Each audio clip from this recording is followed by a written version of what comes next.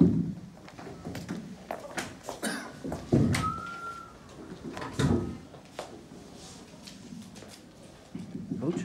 how are you?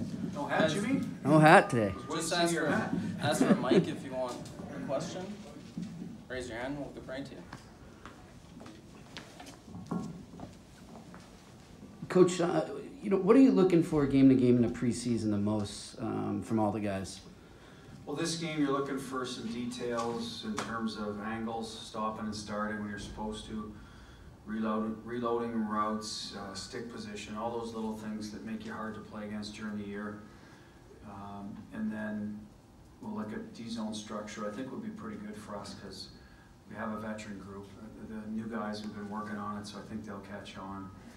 Obviously, power play chemistry, we've got a spot open. Taylor Hall was the net front guy tonight in the first unit. We've used Felino a little bit in practice, so we're, so you're searching for some combinations there. Um, but mostly, uh, the little details of starting to, you know, what you need to do to play well, as I pointed out. The, the stuff that you're not gonna do while you're doing the captain's practices or, you know, the summer hockey stuff, it's a lot of circling, and so that's one of the things we look for. And as we go through, like Saturday, it'll be puck management in the blue line. Start of the second period, for example, ten minutes of bad hockey for us. We didn't manage the puck, we chased it the whole time. So those are things that, you know, we- that you're trying to build back into your game. And then with Haula, what have you thought of him so far? Haula? Uh, he's been a good player for us. He's around the puck a lot. He's willing to shoot. He can make some plays. He's got good pace through the middle of the ice. Um, I think he knows where he, he needs to be to be effective. That's through the middle. He's, he's in good spots to receive passes. Uh, he's been strong on the draws. Um, and so, and like I said, you know, a, a different pace in the middle than what we're used to. Um, as a left stick as well. Looks like him and Jake, uh, you know, played well together, so we're gonna try to keep that together. Any hands for the mic?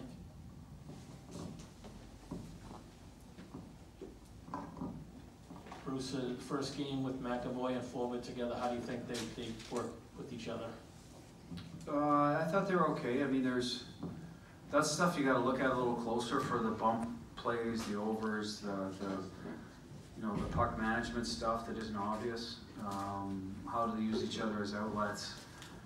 Um, So I'll, I'll look at that again, but I think Derek's as advertised, he's, he's gonna try to make a good, clean first pass and, uh, let Charlie be the guy following the, the play up the ice. Um, you know, pound kill around the front of the net. I think him and Carlo each got beat once with a, a quick bang bang play. That's usually a strength of his. So those are some of the details I talked to Jimmy about this, the stick position, those things.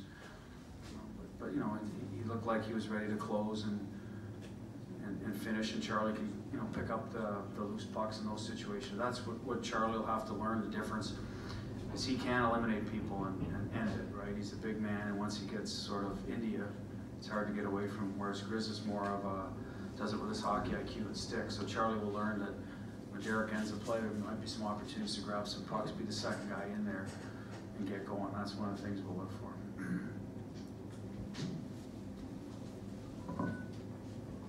Bruce, you've got three, uh, three games to go here. How, how soon will you trim down to a more reasonable number how you approach these last three games?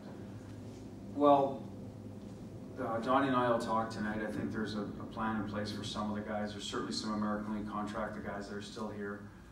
Um, we're gonna try to work with, you know, one main group, and obviously the, the, the game in Philly, we will probably be our last chance to look at more of the younger guys. So Saturday's lineup will be similar to the, tonight's. I think you'll see more of the main group in there. Um, and then Wednesday, the final game is obviously, you know, the most of the main group. So it'll be main group Saturday, so some sprinkled in, some veteran guys, and, and but more younger group traveling to Philly. Um, All Marco is scheduled to play the whole game on Saturday, see how, you know, that goes. So that's how we're looking at it. Um, so there will be cuts over the next two or three days, whether they're all at once or, you know, trims half a dozen or so. I don't know, I'd have to get with Donnie on that. Anybody else?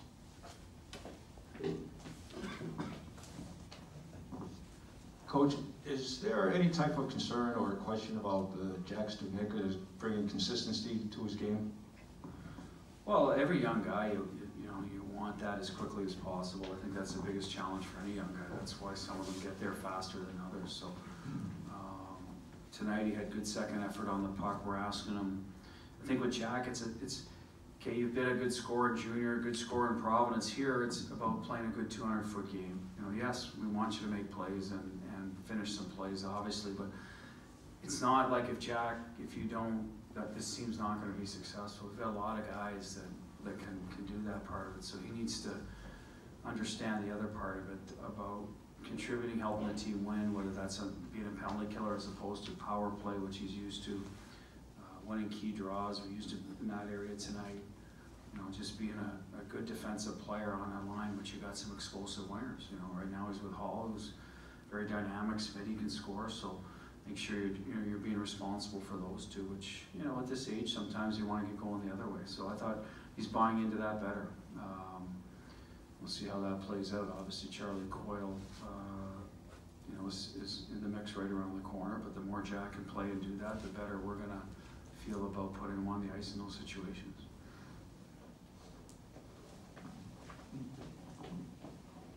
Uh, Got another Forbort one for you. Um, When I watch Carlo, he seems to be uh, very active uh, with the puck. If he doesn't have a passing idea right away and he has room, he skates it. Forbort seems to do a little bit more of that Pronger thing, where he stays where he is and looks it over and decides where he's gonna put it. And um, I was watching a little bit of the uh, series against Edmonton, when NHL Network replayed it. And Forbort was really great with the puck in all kinds of situations, even in the overtime. But he would like, like there'd be this huge gap between him and the forwards.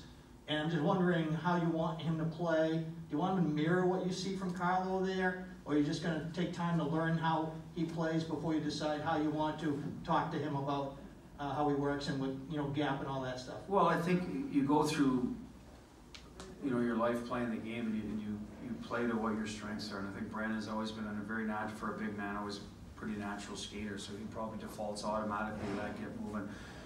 Derek's probably more of a vision guy, uh, his whole life, where I can, you know, I'll wait it out, I got some composure with the puck, and I'll let the puck do the work. And, and there's no right or wrong way, as long as it ends up in a positive play, that, that's what you're hoping for. Um, I think McAvoy does both, you know, he'll, he'll wait it out and have good vision and move it, and other times he, he pushes the pace. So again, it'll be sorting out what his strength is. To me, I don't think you can change him a lot, Nick, at, the, at this point in terms of, hey, you know, you gotta be thinking of sprinting up the ice. I'd rather be comfortable moving it, let the puck do the work.